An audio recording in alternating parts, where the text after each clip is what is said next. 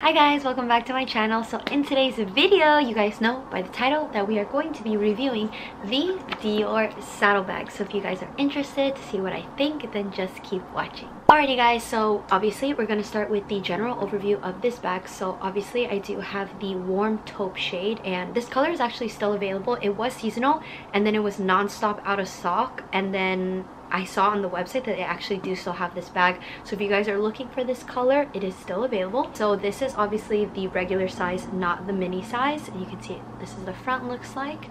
This is the back and the back does have a back pocket and I'll show you um, whether or not my phone can fit in this back pocket. Obviously you have the CD hardware on both sides. The strap is also grain calfskin as well, so the material on this bag and this part are exactly the same. And then obviously you have the D on the bottom. And then this is the inside of the bag the opening.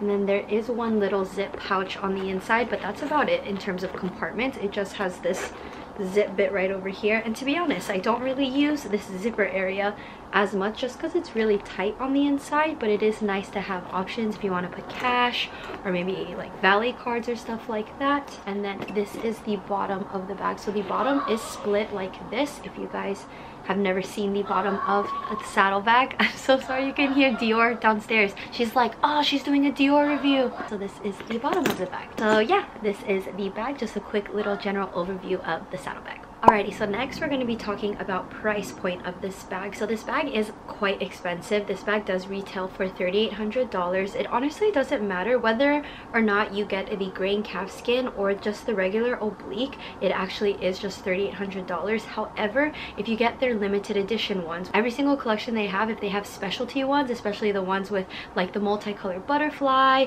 or the ones with the cheetah print and stuff like that, those ones in general are about like 400 to $500 more expensive give or take which one you do get. And then also just something to consider in terms of price point. I know a lot of people including myself when you plan to get a saddlebag you kind of include the price of the additional straps that a lot of people like.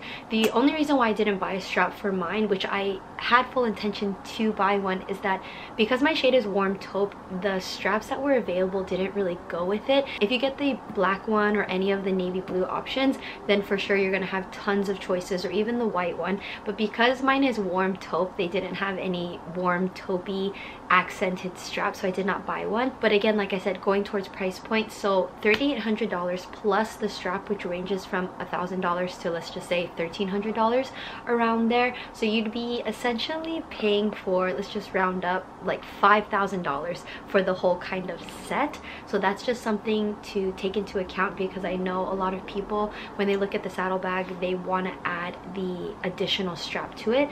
And I eventually do want to get a strap for mine. It's just I have not come across a color combo that would go with this shade of warm taupe so Okay guys, so probably everyone's most favorite part is what fits inside of this bag because I know especially with the way that this is structured right here, a lot of people feel like you can't fit a lot and you can't fit a lot. You really buy this more for the aesthetic vibe, not really, oh my gosh, like this could be my throw everything in bag. That is not what this bag is, but let me just show you all the things that I was carrying earlier. Okay, ready.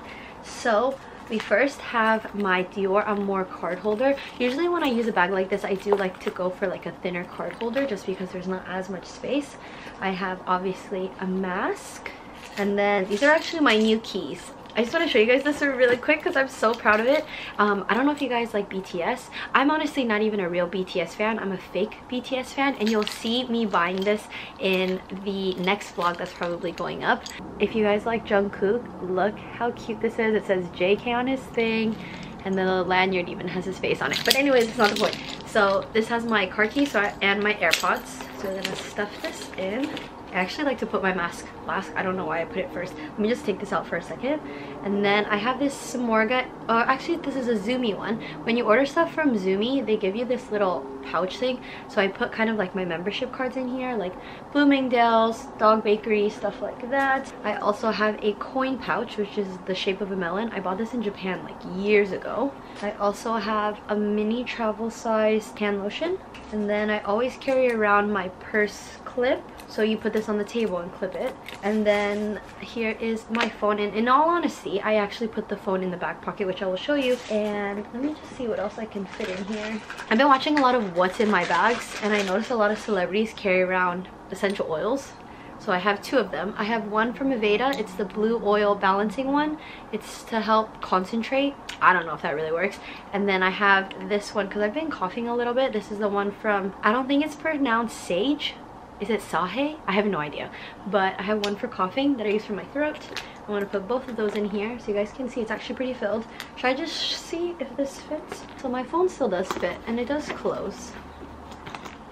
And then here we have it. But in all honesty, in general, I do not put my phone in here it's just not because i'm always on my phone i actually put my phone in the back so i don't have the max i do just have the 12 pro just the regular one and this is honestly how i hold it like this I feel like if you didn't have a pop socket for your iPhone, you could probably fit it better. If you guys do have the iPhone Max, which I feel like a lot of you guys do have, it will fit in here just because the, what is it, the width of the phone is still the same. But for sure, I'm gonna assume that it would probably stick out more.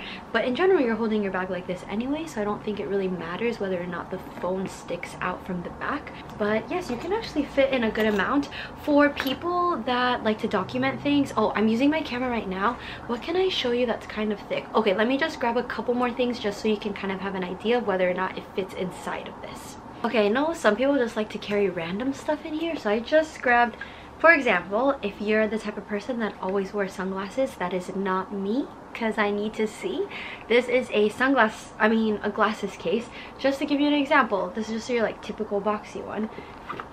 That it does fit in here, but you probably would have to not fit other things so do you see how it fits? You can still put in like your card holder. I could probably fit in a bottle, a mini bottle of hand sanitizer. And then I'm sure I can still fit my keys in here as well. And then like I said, this can close and then I would most likely then not still keep my phone in the back of this pocket. These are just little things that, because everyone carries different things with them. Not everybody carries everything and not everybody carries the same things. I also have this little wet brush because some people like to carry a hairbrush with them and the hairbrush, this obviously is a travel size version, does fit in here. so those are just random things that you guys can fit in your Dior saddlebag because I know the shape is very oblong and strange. But yes, Alrighty, let's discuss the pros and cons about this bag relatively quickly. So a con about this bag is definitely uh, what fits in it. Obviously, you cannot fit a lot in here, but I wouldn't necessarily say that's a really true con. It's like if I bought a micro bag and a, a con wouldn't be that I can't fit a lot because you're, you, you know what it looks like and the size of it.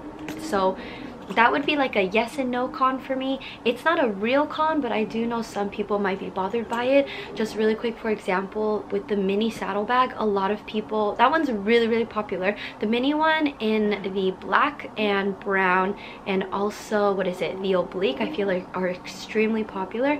And i've seen so many videos on the mini one because the mini one is super cute. And the number one complaint that people have with the mini saddlebag is that it basically can't fit anything. A lot of people have even complained that it can't even fit a phone but you are buying a mini saddlebag the shape like you're buying it for more like the fashion aesthetic not really to put things in. I think a big, big con with the saddlebag is the price. In all honesty, when this first came back, I think this actually, the saddlebag came back in mm, maybe, I think it came back maybe like 10 years ago. I remember right when it came out, I honestly really didn't like it, which I guess the con is the shape. It's very oblong. It's a very unique bag. Whether or not that's a con to you, I know it's a con to some people is that like, it's just, it's very specific on what this looks like. For example, a just regular size crossbody bag, let's say the Gucci Soho Disco bag, that that aesthetic of that bag is very easy to style whereas the saddlebag no matter what color you really get the style is very unique. So that could be a con to some people that you can't really match it with everything so to speak. Even if you had it in black yes the black can go with a lot of things but the style and design in it of itself isn't really like oh you can you can take this with everything if that makes sense. But again that's really just to each their own personal style. But going back to what I was saying is when this bag first came back, I honestly thought this bag was so ridiculously overpriced. I think when it came back, it was like $2,600, uh, like 26 28 It definitely wasn't 3000 yet, but it it was like 26 $2,600 I'm leaning towards that. I'll try to find the exact price it was when it came back. But yeah at that time I wanted it but I was like that's just that's real ballsy expensive. And I just kept pushing it back pushing it back. But obviously I knew I still wanted it just because it's the Dior saddlebag. Like how can you not have a Dior saddlebag? You know what I mean? Just really the hardware is really what cinches you.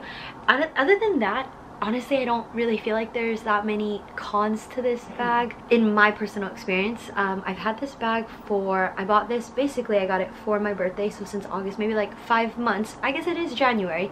It's about five to six months i've had this bag. Okay so one of the pros that i would like to point out is so i did get the grained calfskin here is just a quick close-up. You guys can see the grain in this. If you don't have your setting on the youtube video for um, picture higher quality i do recommend turning it on right now just so you can kind of see the grainness of here. It's kind of shiny in a way. Can you like see the reflection of the light hitting it? So why this is a pro is because even just something small. So i was drinking starbucks actually earlier today and the outside of the cup started getting condensation obviously and it started to drip on my bag because the bag was sitting in my lap while i was drinking the coffee so the outside of it dripped and it dripped on this bag and i didn't even panic because that's happened to me before. So what I'm saying about a pro is that I don't actually have to baby this bag. Again, it is because of the material too. If you have the oblique canvas, it might be a different story. But if I get water on this, I literally just wiped it away with my finger. I didn't even use like my sleeve or anything. I wiped it away with my finger. There is no residue at all on this bag. Again, it might be different if you drop like Thai tea because Thai tea is really orange or if you did soda it might be a different story but if it was like water or just something really light I just wiped it away. And there is no watermarks no residue no nothing. So I definitely think it has to do with the material and how they just finished it. So that's just like a plus if you ever get water on this or if you're using this in the rain I don't have to worry about it. For example if you're using a Louis Vuitton bag when it's raining you think to yourself oh no there's vachetta on this bag like I have to hide it from the rain. Whereas this if it's sprinkling or something I really don't have to worry about this at all. Another pro is I mean I don't know if this counts as a pro but the aesthetic vibe. This hardware piece right here I'm just absolutely obsessed with. I think it's the cutest thing when you're holding it like this and you can see it from the front and you can see it from the back as well. To me that's just really like ooh, I just I love that about the bag. Another pro is actually I feel like this is debatable but because this is a magnetic closure to me it's actually pretty easy to get in and out of so to speak. It's not as easy as let's say mm, like my Celine nano bag I don't think it's that easy because obviously again the shape is a bit awkward but because it's magnetic do you see that? Where it just closes very securely. Okay let's go back to this really quick is that to use it though functionality wise it isn't that easy to use okay? So let me just get that out of the way. To me it's easy because it's a flap like this as opposed to let's say certain bags have like a buck or you have to twist something to get out of it. Not saying it's that hard but it's just to me it's pretty easy. But some other people could argue that this bag is not easy to get in and out of because of the opening right here is do you guys see this? How the opening is not fully wide due to obvious reasons. Oh, I left the brush in here. So you guys could argue whether or not this could be easy to get in and out of. I know a lot of people talk about with the bobby bag, how the opening of that is a con for a lot of people where it's like that that sort of shape makes it hard to get in and out of. I think in terms of this opening it's more of like a personal preference. It's not the easiest thing because obviously this is not a tote bag. I can't just chuck things in here. I really have to strategically kind of place things in. However it's not that complicated and it's not that big of a deal for me. Like it fits what it needs to fit and it's shaped like this. So you can't assume that everything's gonna be that easy I don't know if you guys would count this as a complete pro, but I like that you're able to style this in different ways. And what I mean by that is, is that you have the option to add various different types of straps. They have the thinner ones, they have the wide ones, they have the ones with the kind of like metal hardware on it. It's just, I feel like with the strap and without the strap, it can just give a completely different vibe because not a lot of bags you can match with like two or three different types of straps. And then another pro about the Dior saddlebags is that you can get this in so many different colors finishes. They have this in so many different iterations of Dior oblique. So if there's a color that you don't like right now I honestly say just wait it out. Like don't settle because this is very expensive. Don't settle for a color you're just kind of okay about especially with this type of bag the shape of it. It's just you need to really love the color that you're gonna pick because it's like look at the shape. It's not a normal designed bag. You gotta really like love it. So i say just wait. They always have different shades of browns. Like they have like the pumpkiny orange brown. They have the cognac browns. Uh they have like different shades of greens yellows reds even like pinks. So i say if there's not a color that you absolutely love and adore i say just wait on it because i'm sure it's gonna come up. Or if you want it in the dior oblique print just wait too because they come out with really like sick sick colors. And i guess my last little pro would definitely be the hardware on this. And going back to it it's not just the aesthetic.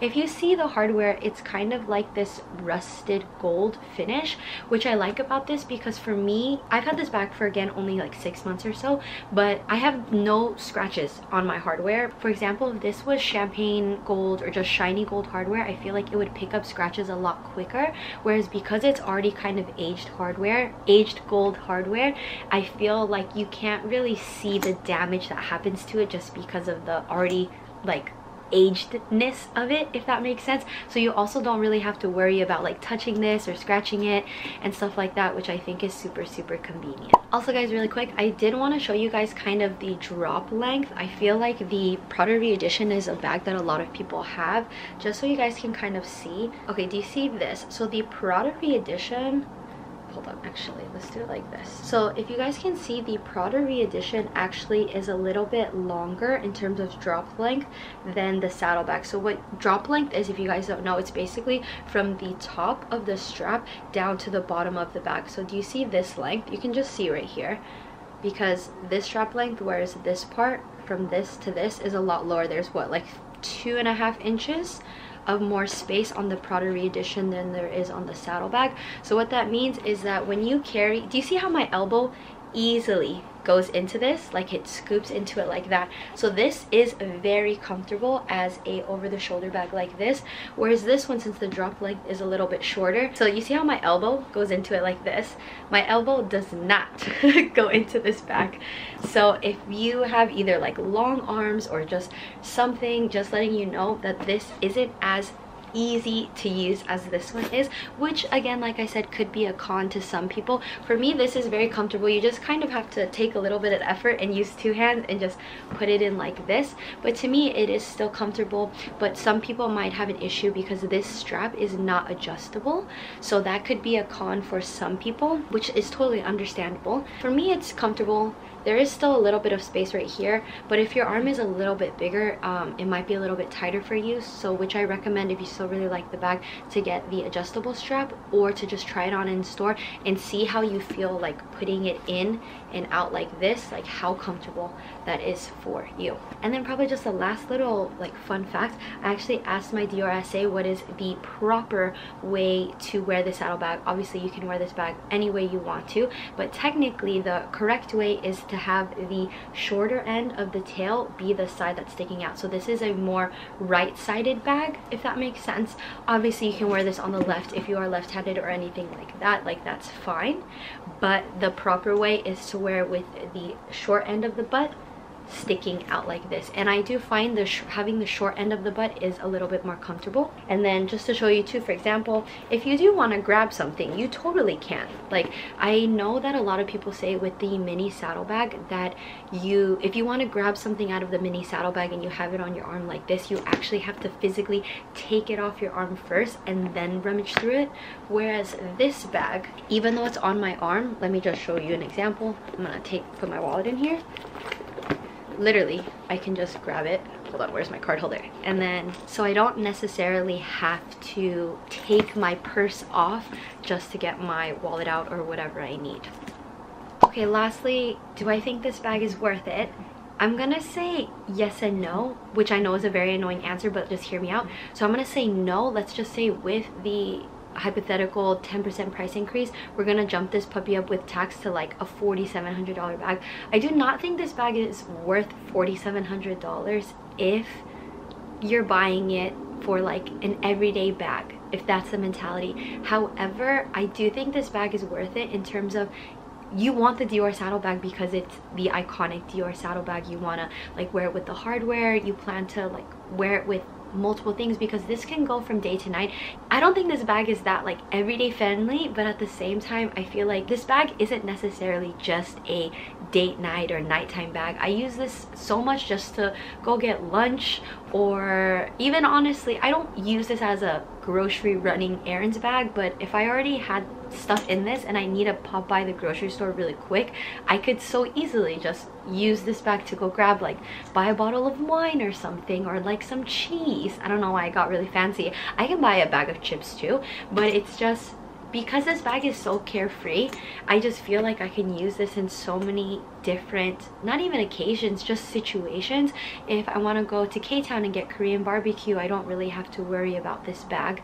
Whereas for example my chanel mini rectangular tweed bag i do not wear that bag everywhere. That is for damn sure. But yeah the material of this just because even getting like pit pocketed i'm not afraid because the opening on this is so tight. And if i'm using this bag my arm is literally like this. Like for somebody to pit pocket me wearing this bag you gotta cut off the strap and physically steal this entire purse to pit pocket me because like my arm is like protected not even on purpose. It's just the way you carry this bag. To me this bag is worth it for what it kind of stands for. Would i push this down a little bit? Yes. I don't think this bag needs to be like $4,500 for sure. But considering how iconic it is if it's just something for you that's a really special piece and you want to add it to your collection i think it mm-hmm. can be worth it just because the actual bag itself is easy to use to a certain degree. I know a lot of people crit criticize it and say it's actually kind of fussy. It's it's not that it's fussy it's just not as easily accessible as for example we're just going to use like the gucci soho disco bag. You just zip it put stuff in put stuff out then it's fine. But that just goes with the design of the bag. I'm not buying this bag to have it be that easy. I'm buying it for the design.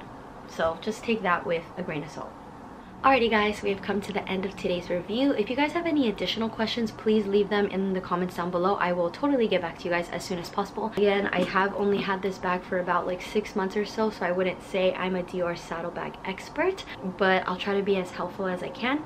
As always, if you guys enjoyed today's bag review video, please don't forget to give this video a thumbs up and don't forget to subscribe. It really helps support my channel and I'll see you guys in my next video. Bye guys!